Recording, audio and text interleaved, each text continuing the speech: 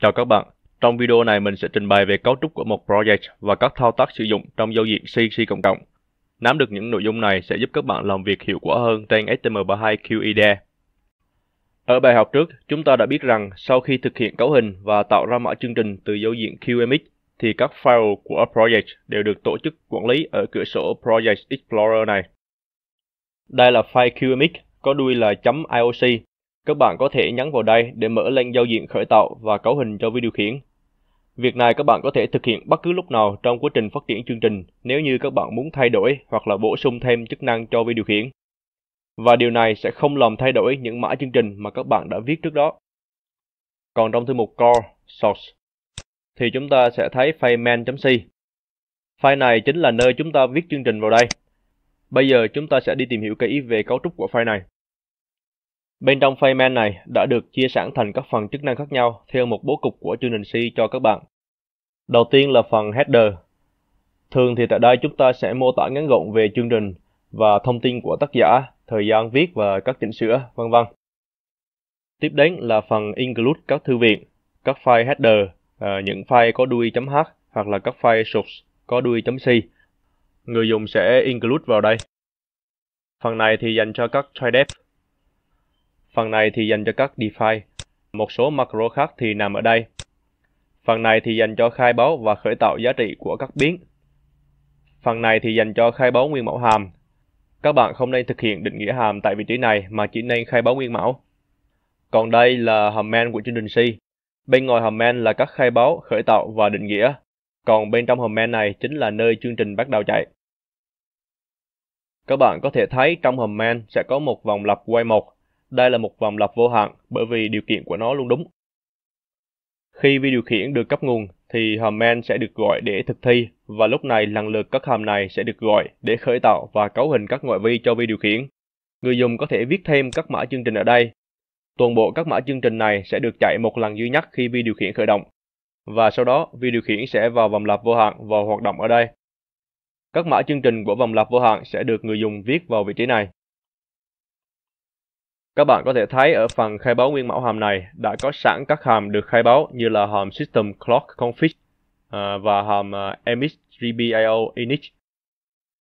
Và bên trong hàm main trước quay 1 thì các hàm này được gọi để sử dụng. Bên cạnh đó thì còn có thêm hàm ho init.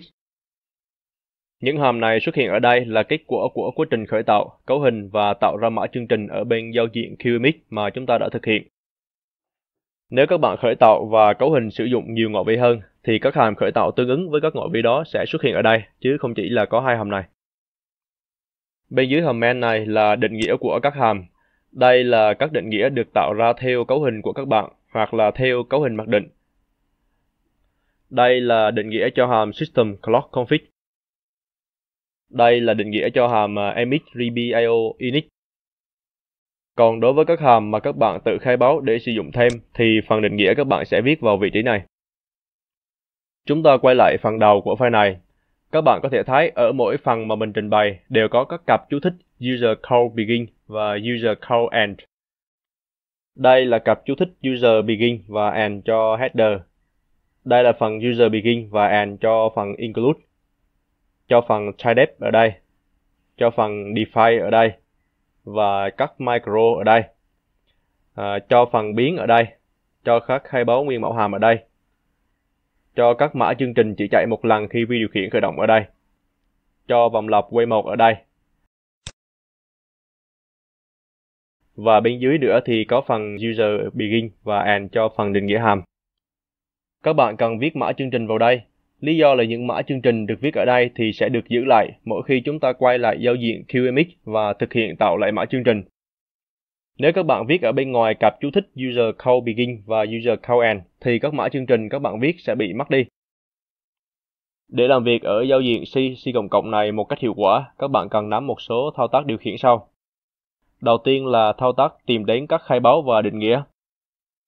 Ví dụ như mình muốn xem định nghĩa của hàm à, emit rebl init thì mình sẽ nhấn chuột phải vào tên của hàm này và chọn à, Open Declaration. Thì màn hình làm việc của mình à, sẽ tự động dẫn đến phần định nghĩa của hàm này. Đây là một à, thao tác được sử dụng nhiều trong quá trình các bạn làm việc ở giao diện C, C++. Thao tác tiếp theo là xem các chú thích báo lỗi và cảnh báo. Ví dụ như khi chúng ta viết một câu lệnh mà quên dấu chấm phẩy, thì lúc này ở đầu hàng sẽ có một dấu than nhắc nhở để chúng ta chỉnh sửa.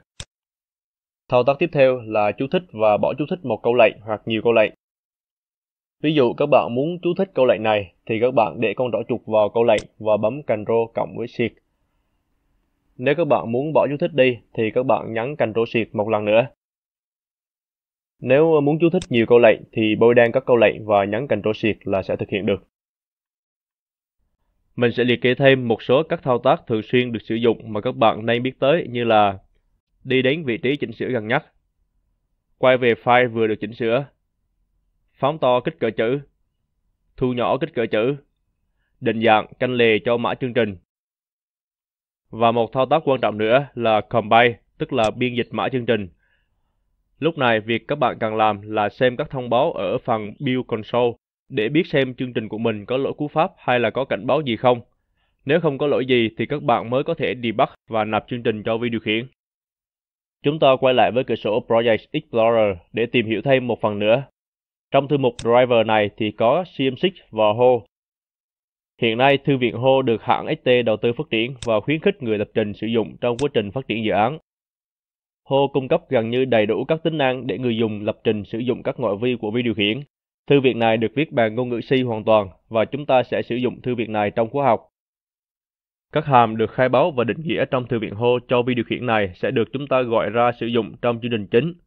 Chúng ta sẽ có một bài học về CM6 và một bài học về thư viện Ho ở các buổi tiếp theo. Nội dung của buổi học này đến đây là kết thúc. Hẹn gặp lại các bạn.